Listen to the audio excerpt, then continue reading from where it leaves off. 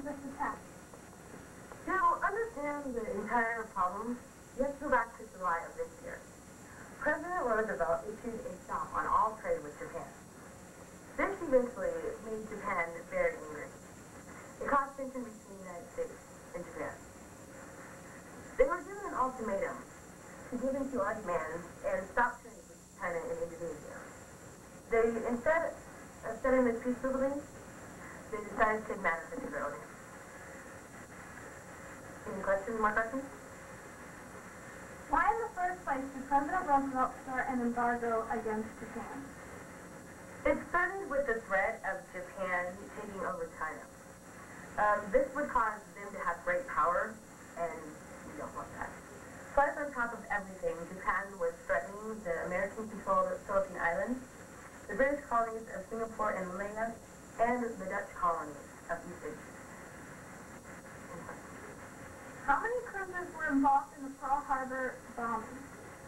There hasn't been an exact number, but 18 have either been sunk or damaged, including eight battleships.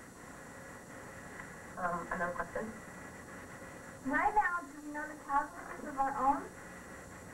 Um, we don't have the exact number, but as recorded right now, there has been 2,403 Americans who have been pronounced dead and thousands who have been wounded. Questions? What do we plan to fight back? Right now, there has been no um, plan of action, but what goes around comes around. Another question, please. Did we have any knowledge of this occurrence? Um, we are still investigating of that. What was the plan of Japanese attack? Um, there was two two separate attacks. The first attack that came around from the west and up through the north. That consisted of 183 aircraft. That was the first bomb, which occurred at 7:55 a.m. The second attack, they came out from the east and up to up north to the island of Pearl Harbor. That consisted of 167 aircraft. Okay, thank you.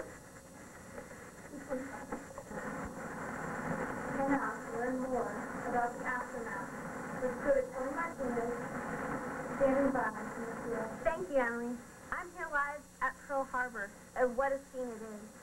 After a blissful evening of dancing December 6th, many of the sailors were sleeping it off. At approximately 7.55 a.m., the American band was preparing the daily rising of the flag.